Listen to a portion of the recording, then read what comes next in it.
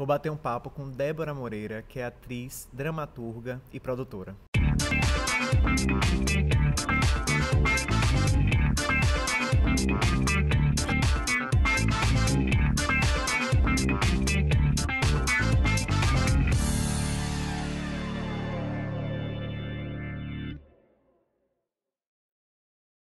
Primeiro, qual o papel do ator no teatro? Essa pergunta Ai, é até...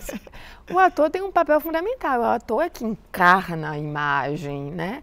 É, é a, a, o ideário, é que encarna é, a, essa ideia que eu estava falando. O criativo fisicaliza esse criativo e expressa para o espectador. Então, sem ator não tem teatro. Que seja um ator humano ou um boneco, essa figura que está ali é, expressa é, através do boneco como ator, né? Ou um, uma sombra, o que quer que seja. Sem essa figura do ator não existe teatro, mas também não existe um espectador, senão não é teatro. Tem que ter o espectador, o, de, desculpa, o ator e o espectador, aquele que res, com quem o, o ator dialoga né, esse companheiro de jogo, a gente chama de companheiro de jogo. Ele está jogando também com o ator. O ator joga com sua voz, joga com seu corpo, com seu imaginário, com a sua psicofisicalidade. E o espectador está participando do jogo, está dentro, está participando do jogo, está indo dentro da história, está seguindo esse fluxo da história, junto com o ator. Você já tem quantos anos de, de carreira como atriz? Reinaldo, 22. Uma caminhadinha aí, né? Muito. Uma caminhadinha. E como ganhar dinheiro como ganhar dinheiro dentro do teatro, não, não apenas sendo ator. No teatro, não. É o sonho de todo ator. É, é, realmente ganhar dinheiro só sendo ator de teatro. Mas a gente não ganha dinheiro apenas sendo ator. Aí é, é realmente uma, é, é, um sonho que a gente realmente não consegue realizar. Tem então, para você ganhar dinheiro e se, se manter dentro do teatro, você precisa atuar em outras áreas. Você precisa dar aula, você precisa ter essa capacitação como professor, né? E o gosto, né? Porque também se você não gosta de dar aula, você vai ser um péssimo professor e aí é melhor que você nem trabalhe com isso. Você vai fazer um desserviço à humanidade, ao teatro e a você. né? Mas você precisa. É, é, esse é um exemplo, né? Se você gosta dar aula, ou descobrir isso dentro de você. Você precisa trabalhar com, é, talvez, produção cultural, se você gostar, né? Você precisa é, trabalhar como ator em outra, outros veículos que Sim, não seja apenas o teatro, isso, isso. né? A televisão, o rádio, locução. Então você precisa ampliar, ampliar seu leque de possibilidades dentro do fazer teatral. Você precisa talvez se tornar iluminador também, se você gostar, porque quando a gente começa a fazer teatro, né? E normalmente quem começa como ator vai descobrindo que existem mil O teatro parece que vai lhe puxando assim, oh, tem isso aqui, olha aqui, oh, tem isso ali, olha ali. Oh. E aí você vai descobrindo outras paixões. E é isso que o programa Bisu Fazendo Arte está mostrando, né? As várias, vários papéis que você pode exercer na construção de um Sim, espetáculo. E são tão importantes quanto, porque a gente dialoga dentro da cena como ator com todos os elementos. Com o diretor, o primeiro diálogo é quem está criando junto com o ator, é o diretor que vai conduzindo, co-criando junto com o ator ali a cena. Depois você dialoga com quem está ali, o iluminador, que quando você hum, é, dá um passo, ele cria um outro ambiente para você e precisa dessa iluminação para que a magia do teatro possa realmente ser, ser construída, ser elaborada. Você dialoga com, com o sonoplasta, né, que vai operar a sonoplastia do diretor musical. Então, assim, tem outros elementos dentro do teatro que você precisa também aprender para o bem do, da sua da sua formação artística, capacitação e especialização e para o bem da sua vida financeira. E o professor Mel sempre diz: nunca brigue com o iluminador. Nunca. Porque ele pode te boicotar. Nunca brigue com ninguém na cena. Também. Não é o melhor caminho. Teatro é algo que é coletivo. A gente aprende isso desde o primeiro dia de aula. Que você entra numa sala de teatro, você aprende, você não faz teatro sozinho. Você, não, você faz teatro com um monte de gente. Para o teatro acontecer, tem que ter uma galera ali. Então, se, se um espectador veio para um teatro e assiste um monólogo e acha que só tem uma pessoa ali fazendo, às vezes tem 10 pessoas fazendo atrás. E são tão importantes. É todo mundo que está jogando um com o outro para acontecer. Porque se um perde, como você disse, se o iluminador, você brigou com ele, ou o iluminador dormiu, ou qualquer coisa aconteceu, Pronto. já era. Entendeu? Deu um tilt na iluminação. Tipo, é o fim, às vezes isso aí pode ser o fim. Já me aconteceu é, de um espetáculo, por exemplo, eu entrar em cena Era, era a primeira cena do espetáculo, começava assim, e não tinha luz. A luz começou, deu o terceiro sinal, tan, tan, tan. Cadê a luz? Não acende, cadê a luz? Não acende, não acende. Não tem como fazer cena. E o mercado hoje da atuação? Tem para falar mercado não só da atuação. No, no, no, mercado no Brasil ou no mundo. Sim. É, olha, o mercado da atuação é bastante competitivo, né? Sempre foi. Na Bahia a gente tem menos possibilidades. Se você for para outras metrópoles, outras metrópoles como né, no sudeste de São, Paulo, Paulo, você tem outras possibilidades. É, mas também você tem uma, um campo de competitividade gigantesca, porque são pessoas que vêm de várias outras cidades para fazer, para né, oferecer, digamos assim, a sua mão de obra, tentar trabalhar com, com, que a sua expertise, o seu desenvolvimento, o seu, a sua capacitação profissional, né?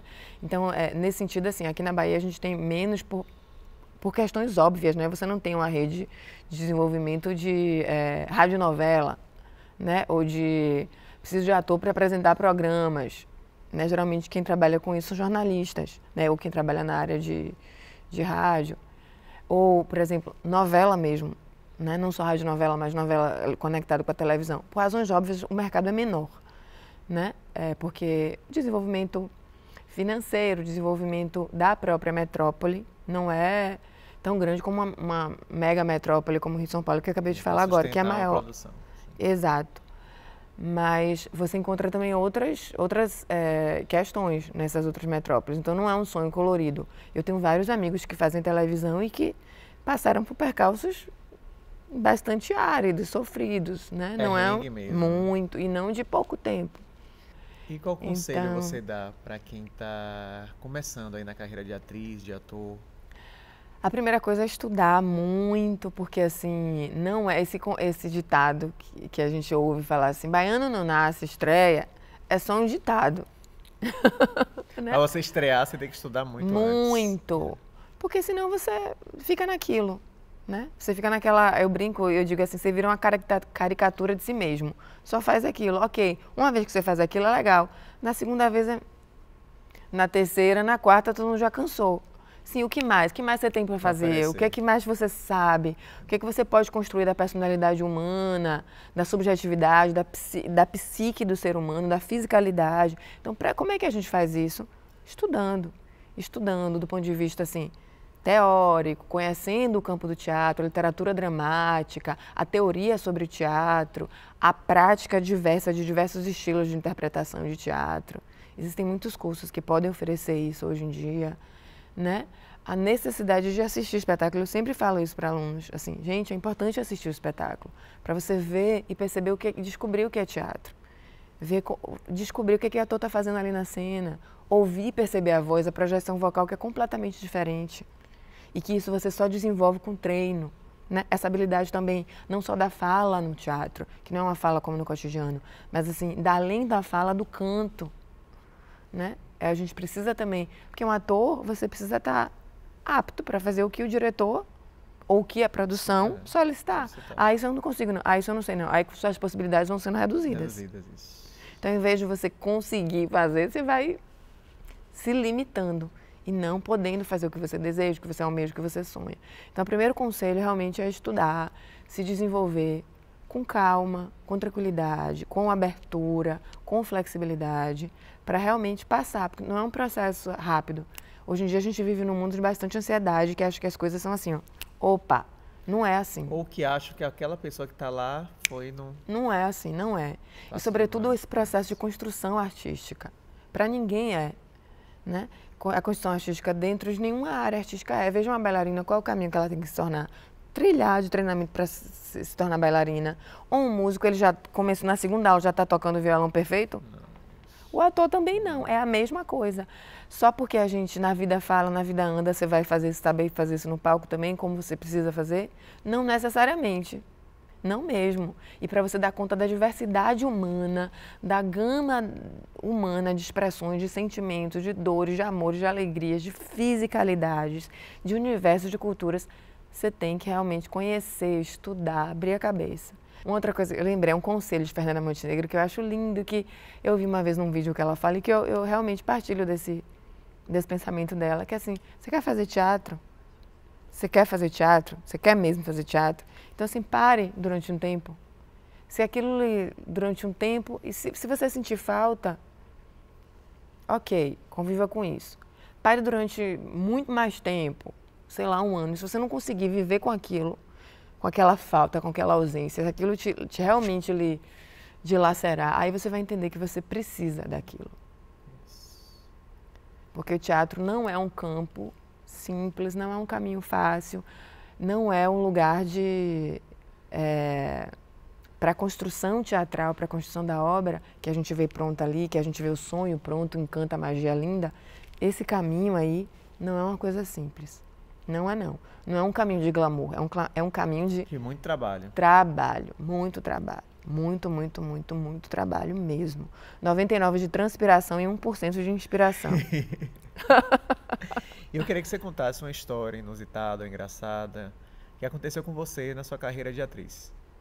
Eu ia apresentar um espetáculo no palco do TCA alguns anos atrás, espetáculo de Nilda Spencer, de comemoração, Sim. quando ela era ainda viva, né? Uma, uma queridíssima é, atriz, né? mestra de teatro, colega de cena com a qual eu tive a oportunidade e a alegria de poder estar num espetáculo. Então, eu acho que foi em 2000, 2001 esse espetáculo que eu fiz com ela, chamado Ensina-me a Viver. Então, a gente fez o espetáculo lá no TCA, e o, a montagem, uma montagem longa, um cenário grande, complicado. Então, o dia inteiro a equipe cenográfica e, e cenotécnica montando o espetáculo, o, o teatro, o, cenário mesmo, né? A equipe de operação e montagem de luz também montando a iluminação. Ou seja, uma confusão enorme dentro do teatro. E eu no camarim falei com o assistente de direção, ó, é, eu já sabia, obviamente, que o teatro tinha aquela política de começar o espetáculo em ponto. E por isso eu estava atenta. Mas aí eu perguntei para o, o assistente de direção, a gente vai começar no horário mesmo? Como é que é? Não, olha, não se preocupe não, vai começar quando estiver pronto o espetáculo. Falei, vai atrasar? Será? Pensei que é comigo, né? Bom, se ele me disse isso. Aí eu falei, então tá, você avisa, vai avisar todo mundo nos camarins, que eu vou ficar aqui no camarim estudando. Aviso, aviso sim. Lá fui eu tomar banho, lavar cabelo, fazer tudo tranquilamente. Quando eu não estou lavando o cabelo, sabe o que eu escutei? O terceiro sinal do espetáculo. Gente, eu não acreditei naquilo. Simplesmente não acreditei. Que? Mentira, eu não acredito, gente. Eu não estou acreditando nisso. Terceiro sinal, o que é que eu faço agora? Eu não sabia se eu vestia a roupa, eu não sabia se eu me maquiava, eu não sabia se eu saía de toalha correndo pro pau. Eu não sei como foi que eu consegui em um minuto vestir uma roupa, prender o cabelo, não botei maquiagem nenhuma e sair correndo com o vestido sem nem fechar o zíper. agora é engraçado. Agora, né? É, eu não sei como foi que eu consegui, mas eu consegui. Cheguei no palco esbaforida, esbaforidíssima. E o que? Respirou fundo porque... E você... vai, porque e vai. ninguém sabe de nada e... E, e ninguém precisa saber de nada. O importante é que a partir do momento que você pisa no palco, é a vida daqueles personagens, é a história que você começa a delinear dentro da peça. Então, essa é uma história que eu realmente não esqueço. E não quero passar por isso. Não, nunca. Foi um pânico, um desespero. Meu coração batia assim, meu Deus, eu não tô acreditando que ele não me avisou. Disse que ia avisar e não avisou.